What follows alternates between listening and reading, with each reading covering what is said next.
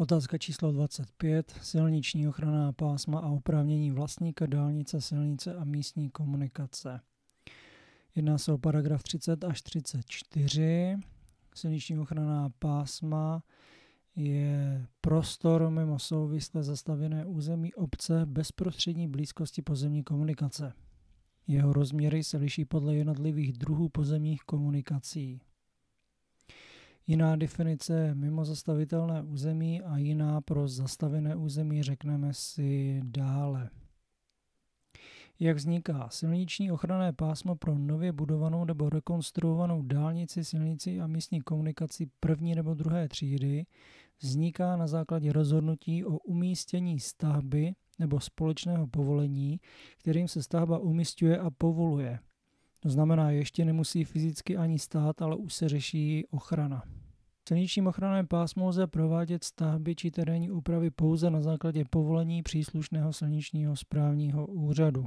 U dálnic řešíme ochranné pásmo v délce 100 metrů, u silnic první třídy a místních komunikací první třídy 50 metrů, u silnic druhé a třetí třídy, u místních komunikací druhé třídy 15 metrů. Žádost předkládá stavebník, který doloží žádost do povolení stavby nebo terénní úpravy silničním ochranném pásmu, včetně informace, pro jaký účel má být povolení vydáno. Dále doloží dokumentaci stavby, ze které bude možné posoudit vliv stavby na dotčenou pozemní komunikaci. Vyřízení žádosti je bez poplatku. Pokud se jedná o jednoduchý případ, rozhoduje silniční správní úřad bezodkladně. V ostatních případech do 30 dnů a ve zvláště složitých případech do 60 dnů. V případě neúspěšné žádosti je možné proti rozhodnutí podat odvolání, které se podává ke správnímu úřadu, který rozhodnutí vydal. Povolení stavby v silničním ochranném pásmu tvoří podklad pro územní nebo stavební řízení a neopravňuje stavebníka k jejímu provedení. Povolení stavby nerovná se stavební povolení. V ochranném pásmu by neměla probíhat žádná činnost, která by vyžadovala povolení. Nic se vysazovat, umistovat reklamy, provádět terénní úpravy. Povolení silniční správní úřad stanoví podmínky pro umístění či provádění stavby a také podmínky pro ochranu dotčené komunikace. Povolení stavby v silničním ochranném pásmu není potřeba pro tyto výjimky. Stavby, u nichž není potřeba povolení, to znamená čekárny linkové osobní dopravy, zařízení tramvajových a trolejbusových drah, telekomunikační a energetická vedení, stavby související s úpravou odtokových poměrů. Zřízení a provozování reklamního zařízení v silničním ochranném pásmu podléhá povolení.